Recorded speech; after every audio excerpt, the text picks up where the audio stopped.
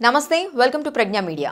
ఎర్రచందనం స్మగ్లింగ్ నేపథ్యంలో వచ్చిన తాజా చిత్రం పుష్ప ది రైజ్ నేడు ప్రపంచవ్యాప్తంగా భారీ స్థాయిలో రిలీజ్ అయింది. ఐకాన్ స్టార్ అల్లు అర్జున్ హీరోగా నటించిన ఈ సినిమాలో ఎర్రచందనం స్మగ్లింగ్కు సంబంధించి చాలా విషయాలను రివీల్ చేశాడు దర్శకుడు సుకుమార్. ఈ స్మగ్లింగ్ చేసే చోటామోటా నాయకులందరూ కలిసి ఓ సిండికేట్గా ఏర్పడతారు.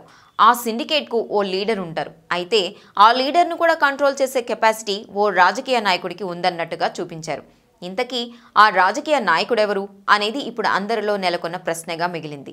కాగా పుష్ప సినిమా విడుదలకు ముందు రోజు హైదరాబాద్లోని విలేకరుల సమావేశంలో సినిమా కథ గురించి సుకుమార్ మాట్లాడుతూ ఇది కూడా ఒక విధంగా పీరియాడిక్ మూవీ అండి. ఎందుకంటే పంతొమ్మిది వందల తొంభై ఆరు నుండి రెండు వేల నాలుగు టైంను ఇందులో తీసుకున్నాం. అది సెల్ ఫోన్స్ లేని టైం. టైం పీరియడ్ గురించి ఎందుకు చెప్పలేదంటే ఎర్రచందనం స్మగ్లింగ్ అనేది ఇప్పుడు జరుగుతోంది. అప్పుడు జరిగింది. ప్రజెంట్ టాపిక్ కూడా. అందుకని పీరియడ్ సినిమా అని ఎక్కువ హైలైట్ చేయలేదు. కామన్గా ఎప్పుడు జరిగినా ఉండే పరిస్థితుల్లో అన్నట్టు తీశాము. ఫిక్షనల్ పీరియడ్ అనుకోండి అని అన్నారు. అయితే సుకుమార్ మాటలకు నిర్మాతల్లో ఒకరైన రవిశంకర్ చెక్ పెట్టారు. సుకుమార్ గారు ఇప్పుడు ఎర్రచందనం స్మగ్లింగ్ ఏమీ జరగడం లేదు.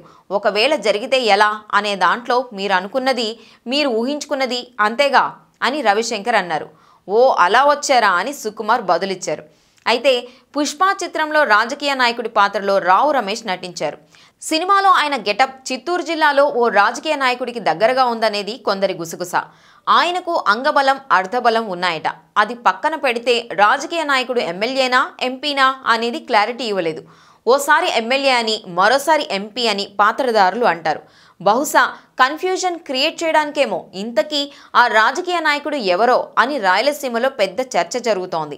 రావు రమేష్ క్యారెక్టర్ మాత్రమే కాదు సినిమాలో కొన్ని క్యారెక్టర్లను చూస్తుంటే అప్పట్లో ఎర్రచందనం స్మగ్లింగ్ వ్యవహారాలతో సంబంధం ఉన్న కొంతమంది రాయలసీమ తమిళనాడు సరిహద్దుల్లోని నాయకులు గుర్తు వస్తున్నారని అక్కడ ప్రజలు అంటున్నారు.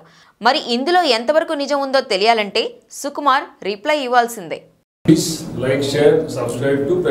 Please like share subscribe to Pragna media please share like and subscribe Pragna media Pragna మీడియాని లైక్ చేయండి షేర్ చేయండి సబ్స్క్రైబ్ చేయండి.